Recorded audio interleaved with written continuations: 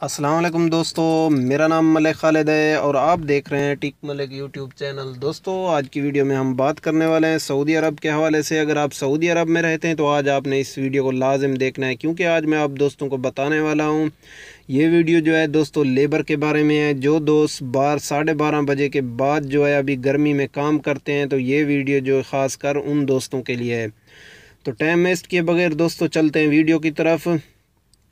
نجران وزارت محنت و سماجی فروغ نے نجران، انیزہ اور شمالی حدود ریجن میں مختلف مقامات پر چھاپے مار کر سعودیزیشن کے فیصلے کے ستتر خلاف ورزیاں ریکارڈ کر لی۔ تفصیلات کے مطابق وزارت محنت کے انسپکٹر نے متعلق تعاون و اشتراک سے شمالی حدود ریجن میں اور شہر میں چھاپے مارے، وہاں سعودیزیشن کے متعدد خلاف ورزیاں سامنے آئی علاوہ ازین، انیزہ میں پانچ ٹھیکیدار مزدوروں سے دوپہر کے وقت کھلے مقامات پر ڈیوٹی لے رہے تھے۔ اس حوالے سے انتیس خلاف ورزیاں ریکارڈ کی گئیں۔ قانونی سرزنش کا سلسلہ شروع کر دیا گیا۔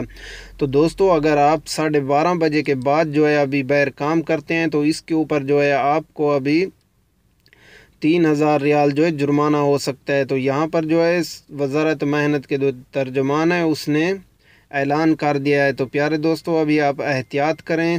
ابھی سے جو ہے یہ چھاپے مارنا شروع کر دیے ہیں سعودی حکومت نے۔